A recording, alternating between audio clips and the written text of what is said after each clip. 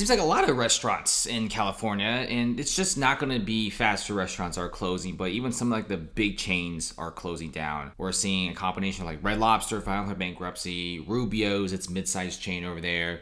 And then, of course, you got like franchises like McDonald's and Wendy's. They're all suffering from this $20 minimum wage hike. And not to mention, the crime rate of San Francisco, San Diego, and the rest of California is absolutely through the roof. Right now, the restaurant industry in California is one of the worst things to do. California, despite having a nationwide population growth and a massive rise in GDP growth, we're seeing California having like very, very slow growth in terms of money in GDP and a decreasing population. What in the world is going on here? Check this out. Why are so many of these San Diego restaurants, for example, closing? San Diego is one of the biggest cities in California.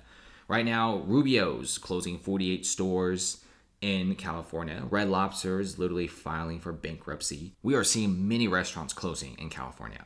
Now, experts say it's a nationwide trend, but a lot of people are saying that California's inflation is just through the roof. It's the most expensive state to buy groceries, for example. Oil prices are sky high, and the $20 fast food minimum wage is causing a massive increase in prices. Now, many of these stores are closing down, and some of these stores are straight up filing for bankruptcy. Then you have this with Starbucks closing seven San Francisco stores. Now, here's the thing about this whole entire San Francisco situation. Have you ever been there before the pandemic? It was actually pretty decent. It's really not that bad. You know, a lot of tech workers sure had like the Tenderloin district, which is really bad. But San Francisco before the pandemic was all right. A lot of tech guys, a lot of tourists, rising real estate prices. And the pandemic hits everyone started just working at home. And when everyone came back to downtown, they started noticing San Francisco truly deteriorated. Not to mention really absurd laws that makes doing business in San Francisco just so difficult. And there's high taxes. And if there's tents in front of a store, you can't move them. And stores are closing down in mass. Real estate prices in San Francisco basically collapsed. And of course, now you got seven San Francisco Starbucks closing. When was the last time you saw a Starbucks closing down? Starbucks, it's decent you know, but it's not like the best coffee shop. And also, coffees are very expensive. I could tell you one thing I've never seen Starbucks close in like a decent, okay city. They always get really good business. So, why did San Francisco stores close?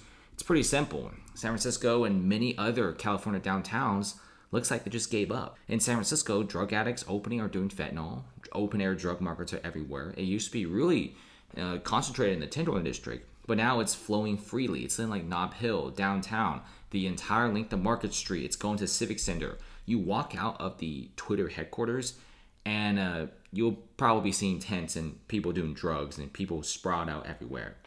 You have like feces and urine on the floor, trash everywhere. And this guy on X says that he's been here for six months and still not used to this. It's absolutely appalling. All government leaders responsible for this should be ashamed and fired. And if no government leader can solve this, then it's time to just hit the reset button. This is San Francisco, and by the way, these couple pictures are pretty interesting because this one right here on the left is literally called the Oak San Francisco.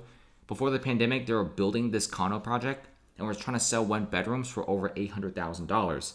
And you're literally paying 800 grand for a one bedroom condo, and your first floor looks like some third world country, people passed on the streets, people just shooting up drugs, and that's what it looks like. And can you guess if they sold any units? No, they sold zero units. And the image on the right is also kind of close to Market Street. This is San Francisco, guys. This is what it looks like, and you kind of see why some of these restaurants are just straight up closing down. Starbucks is leaving. They don't want to be here. They're closing several of the San Francisco locations. There's even potential massive closures over the, the Oakland section, and several other California cities are experiencing an exodus of stores. Check this out multiple Oakland Taco Bell locations have closed dining room options due to safety issues. Now, why did Oakland close Taco Bell location? It's pretty dangerous in Oakland. Some of the big companies in downtown Oakland, like Pfizer headquarters, if you want to go to your car, they'll give you a security guard to escort you there. And there's even companies like Kaiser in downtown Oakland telling their employees just to not eat anymore. Just get takeout, DoorDash, uh, but don't but don't go outside and eat. That's what they're talking about. The Taco Bell locations are constantly getting robbed, and they don't just rob the cash register, they rob every single one of those customers. You know, if you ever go to the Taco Bell dining location in Oakland's playing like you're, you're gambling right there because there's a high chance that somebody comes in and robs everyone. And this is why they've closed all dining room options because it's so unsafe. And you also have several big corporations like Blaze Pizza moving the headquarters from California to Atlanta. They're kind of done with this. Atlanta has enormous amount of growth compared to the San Francisco and the Los Angeles cities. Blaze Pizza is done. They're going to other places, and several other businesses and companies have followed suit. California exodus is real, guys. People are going to more business friendly states.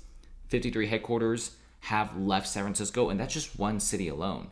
The whole entire state of California, thousands of companies, restaurants, and headquarters have left for places like Nevada, Texas, Florida, pro business states with low taxes, but you get so many amazing amenities compared to California, which you pay a lot of taxes and you get nothing in return. This is why we're seeing record bankruptcies, record closures, Starbucks closing down, and also tech workers and people who live in San Francisco shocked at the fact that this is what America's tech city looks like some third world country. Let's see what happens next. See you later.